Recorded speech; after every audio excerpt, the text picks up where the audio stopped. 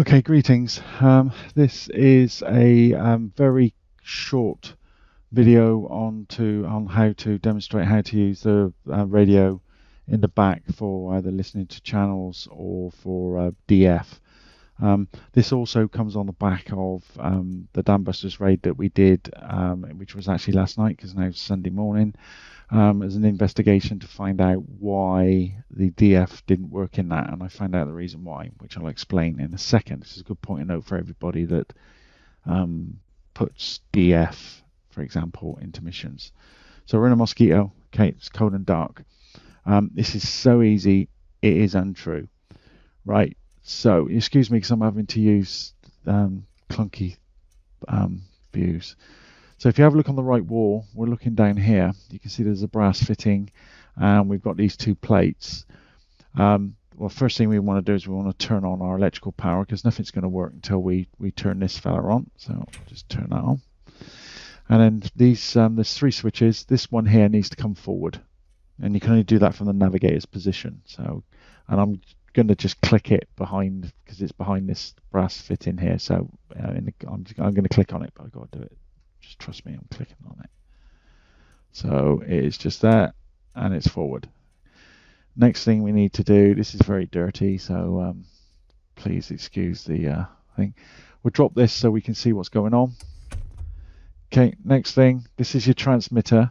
This is your receiver we need to turn on the transmitter. So we just click that on standby. Bosh. You can hear everything powering up. I'm just going to adjust my view a little bit.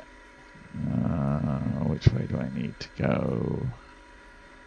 Which way is there we go. And then I can zoom in a little bit for you somehow. Uh, there we go. Okay, so uh, ultra quick, ultra simple. Um, I don't know really too much what these do. To be fair, I haven't really played around with them. That's the volume. So if there's any sound files, you can add the volume up. Um, if you don't want to listen to it, because it'll only loop. So just switch it off as need be. That I'm not too worried about. This is important. This is important. This is important. So it's basically just these these three things, well, four things if you exclude if you exclude the, this, the volume. It's just these three things here. This because this is a valve set, um, it switches between different frequency ranges, which is uh, identified by these colors. And you can see the frequency ranges that are covered by each band, by each toggle of that switch. Okay, will dependent on which frequency you know, you're able to pick up. This just determine this and this, and then we use this to tune, which I'll uh, explain in a second. It's dead easy, and and then we use this on how um, you know how we're going to sort of like receive or display the information or receive the information. Um, the only really um, two settings we're going to want is this little dot means it's omnidirectional, right? So it'll pick it up wherever's, and then visual means that using this system we can transmit it through to the cockpit to get our visual clues, cues, I should say, to where we're going to go, right? So to be fair, if you're using it for DF, you're always going to be want to be on visual, right? So we've got our radio turned on. Happy days. So um, how do we tune this in? Right. So I've set up a, I've set up a, uh, a beacon just off to our right. Okay, and it's on uh, 700, 700 kilohertz okay, which is actually, if you have a look here, you can see 700 is here, and you can see it's on the black band. But you've got a black band up here, but it's not a black band. This is a black and blue, so you can see here on the selector it's got black and blue, then we've got red and blue, and then we've got the pure black, right? So we want to go to black. Now all we need to do is we need, if I just move this, I'm going to switch here, you can see that we've got a turny roundy um, leave, um, this is obviously where you're going to be tuning into. When you go in cold, this will be all the way down here, right? So you'll have to move it around. So we're going to sweep this round um, towards the 700 kilohertz. now you can you can hear it, but it's not perfect. So what we can do is we can, and I can I did that like with that one there. That's coarse. This one is very very fine adjustment. right? So you could be fairly close, but not close enough. But then what I'll do is you can use this one. The attacks were pressed home from a very low level with great determination and coolness to tune it in. resistance. And then this fella up here, to be fair, will um, also, it's like a signal strength indicator. You can see how it's how it's going, how it's how it's Subject to the changing. In the early hours of this morning, So we've got that there. Right. Command, That's as hard as this gets, just to receive. All we're doing, this is not DF at the moment. It's attacked just receiving a signal. Right? of the and Um, if we wanted to turn this into a DF, control two-thirds of the water Excuse me. storage capacity of the Ruhr we need to do a couple of things. You can see at the moment our needles, they ain't doing anything. established that the Möhne So what we need to do is, in between these two radio sets, and that the power there's this thing here. You need to turn this to DF. The Eder Dam, Okay. which controls I'm the just going to turn the volume down and on that because we don't need to listen to the sound.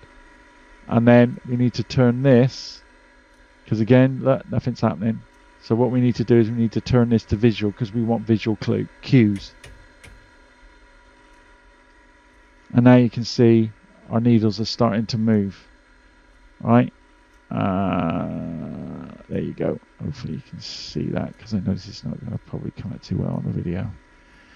So because obviously the this needle is pointing more to the right, this is the, basically where these cross is telling you where the um where the station is. So it's it's it's basically off to our right. So if I look out, I don't know if this is going to work. No, he's he's out here somewhere. I think I'll put him behind this building or just just over here somewhere. But trust me, he is there. So that's where the um that's where the station is, right? So it's really dead easy. Power on. Flick that little switch that's um just down there, and then I'll show you in the cockpit in a minute where where that is. I'm probably going the wrong way. This is a dirty video. Right, turn that fella on. Go straight to DF, and then select the band that you want, and then tune it in. Right, why didn't we pick it up last night? Okay, it was working, but it was on a very, it was on a higher band, right, higher frequency. So that means the wavelength of that frequency, okay, was was actually very fine. So you you would need to do very very fine adjustments um, of the tuning um, dial to be able to pick it up, right? To be fair, in my personal opinion, it's way too high, way too high because it's it's. If you have a look at this, if I just turn this fella up, I'll show you that in a minute actually. Um, right, I've left it on the original frequency, okay, um, which was um, kilohertz. I'll show you when it's program how we program in a beacon in a sec.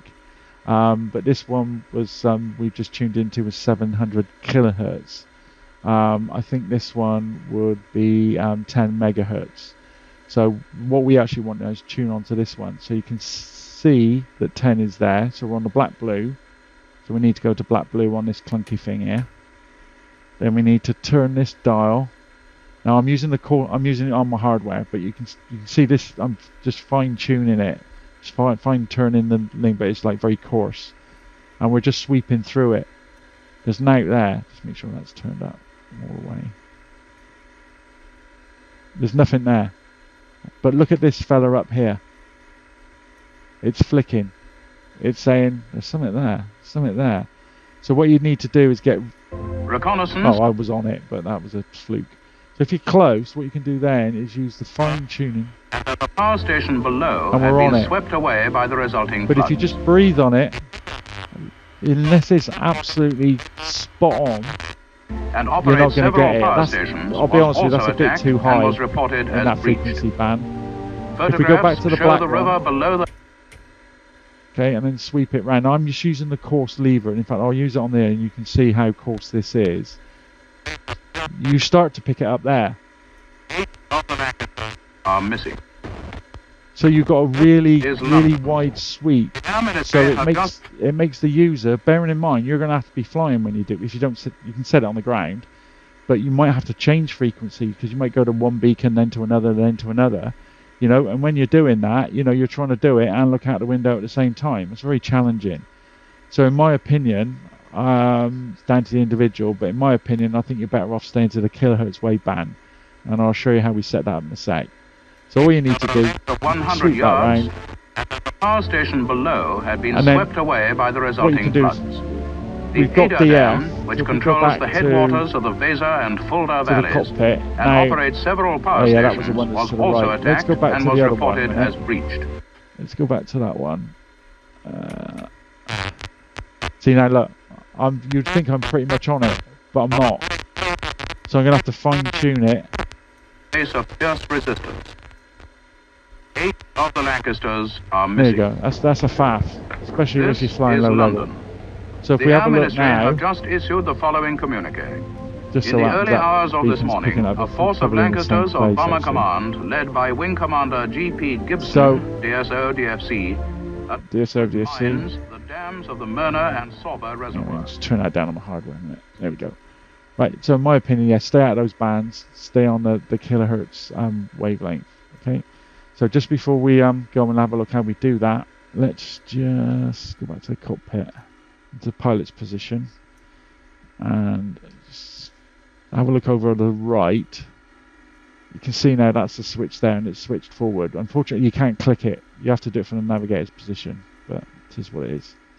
Right, so jump into the oh for crying out loud. Jump into the navigator's position. Right. Obviously, power is going to be on.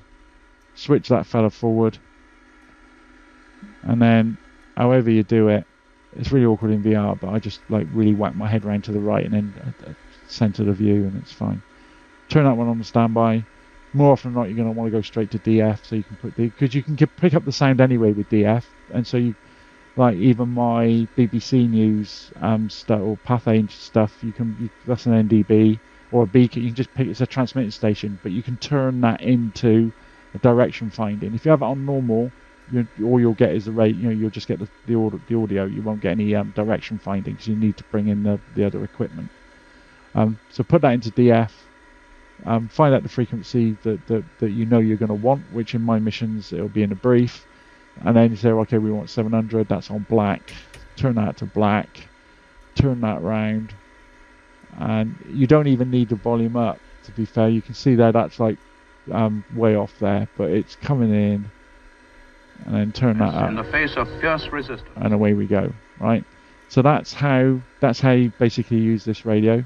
And if you just want audio, you can leave it in omnidirectional. But as I said, if you want DF, it must be in visual. Um, right. So how do we set this up? So if we come out of that, I'm just using John's mission that we did last night. So, um, right. Okay. So where are those beacons? Right, there's one there. Right, this is the one we used last night. Right, and you can see here it's um, it's it's all on the AM, but you can see here it's it's this is at 10 way too high because the adjustment is just so fine. It, you can miss it, you know. So to set it to kilohertz, we just need to put make it point.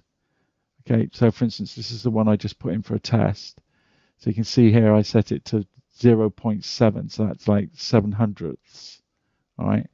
Um, on the on the on the um, on the AM waveband, this when you create it, you can see it's just set a frequency. It it defaults at um, 100 watts um, which is still quite a bit of power, but, but 1000 watts is a lot of power.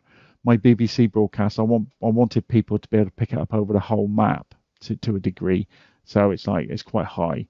Um, just bear in mind, this is like this is things are going to affect your DF when you're flying around. If you're low level, curvature of the Earth, if you're out of the the donut of the you know broadcast, because the signal comes out like a donut from the transmitter, and if you're underneath that you know area of coverage you're not you're not going to pick up any audio or it might go right radio effects on this are stunning. It works just like a real radio. And with the you know with the effects if you're not in exactly on the frequency um so you can be out of frequency um you could be out of range you could be you know curvature of the earth all that all that good stuff and you could be too high. You know it, it really does work really really well but don't expect to turn it on and for you to pick it up anyway because it don't work like that. Okay? Down and dirty hope that's ex- explained it um, and you understand it. Try it. The what's his name mission? There's loads and loads of beacons in my Normandy mission right you can go around and, and practice some navigating dead easy. We're going to use it all the time. Learn it. Happy days. Auf Wiedersehen.